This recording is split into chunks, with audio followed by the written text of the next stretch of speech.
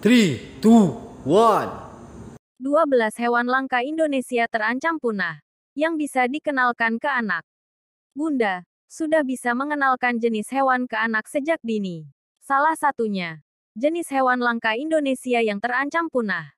Dengan mengetahui jenis hewan langka ini, kosakata dan pengetahuan si kecil bisa bertambah. Tak hanya itu, mereka juga akan lebih menyayangi hewan ini sebagai makhluk ciptaan Tuhan. Hewan langka perlu dilindungi karena terancam punah. Mengenalkan jenis satwa ini berarti Bunda juga mengajarkan anak tentang keunikan setiap hewan dan asal-usulnya. Mengutip berbagai sumber, berikut 12 jenis hewan langka Indonesia yang bisa dikenalkan ke anak. 1. Harimau Sumatera. Harimau Sumatera atau Panthera tigris sumatrae adalah subspesies harimau yang habitat aslinya berada di Pulau Sumatera. Mengutip situs Taman Marga Satwa Ragunan, Hewan ini memiliki ciri kulit loreng coklat kekuning-kuningan dengan garis-garis hitam vertikal dari kepala sampai ekor. Tinggi harimau Sumatera dapat mencapai 60 cm, dengan panjang 250 cm. Hewan langka ini merupakan subspesies harimau terakhir yang ada di Indonesia, Bunda.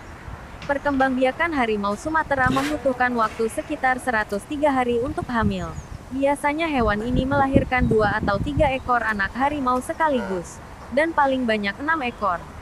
2. Gajah Sumatera. Gajah Sumatera atau Elepas maximus sumatranus merupakan salah satu jenis satwa yang dilindungi di Indonesia berdasarkan Peraturan Menteri Lingkungan Hidup dan Kehutanan Nomor P106 MENLHKSETJENKUM, tanggal 1 Juni tahun 2018.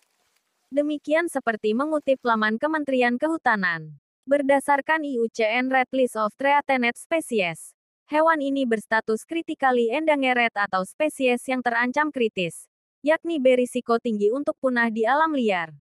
Gajah Sumatera adalah subspesies dari gajah Asia yang hanya ditemukan di Pulau Sumatera. Hewan ini memiliki postur lebih kecil daripada subspesies gajah India. Gajah Sumatera memerlukan 19-21 bulan untuk melahirkan seekor anak gajah. 3. Badak Jawa. Badak Jawa atau badak bercula satu adalah hewan langka di Indonesia yang hampir punah.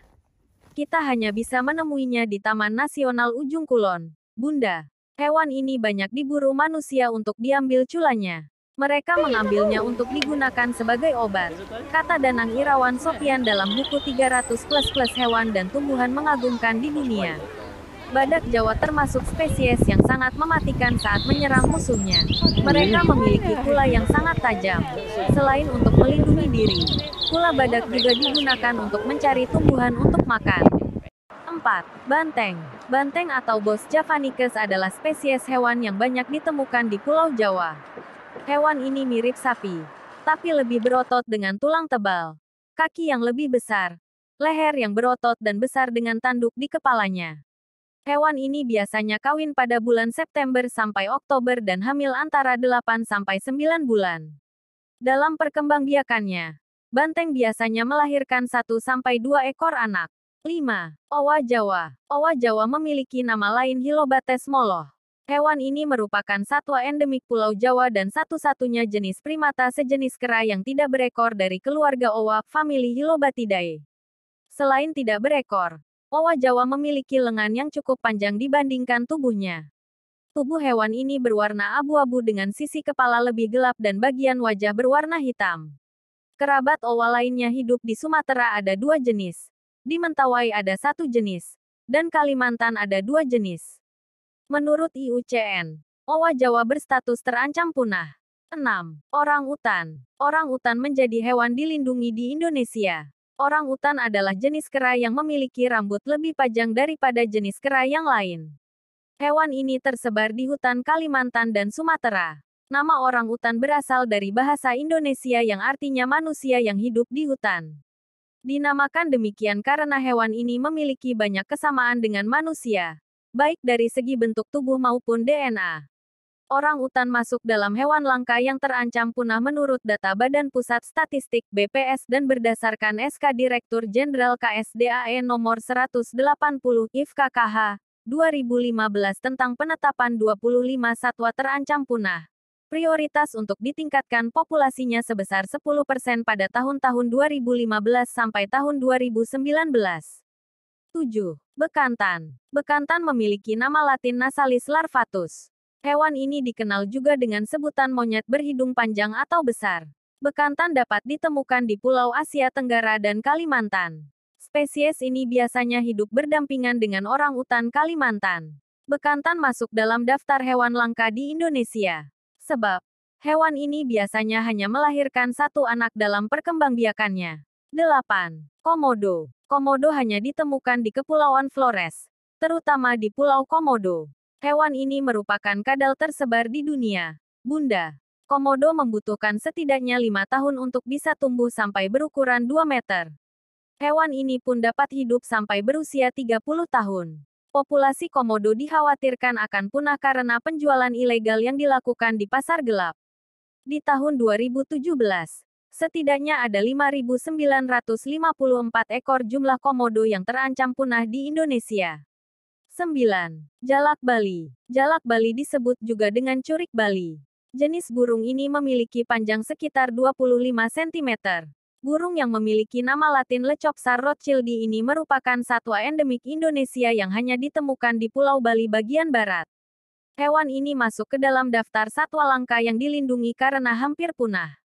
Diperkirakan jumlah spesies yang masih ditemukan di alam bebas hanya sekitar belasan ekor. Jalak Bali merupakan satwa yang dilarang untuk diperdagangkan kecuali hasil penangkaran dari generasi ketiga indukan bukan dari alam.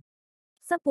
Maleo. Maleo adalah jenis burung dengan panjang sekitar 55 cm dan hanya ditemukan di Pulau Sulawesi. Burung ini memiliki sifat anti-poligami, yang berarti tidak akan bertelur setelah pasangannya mati.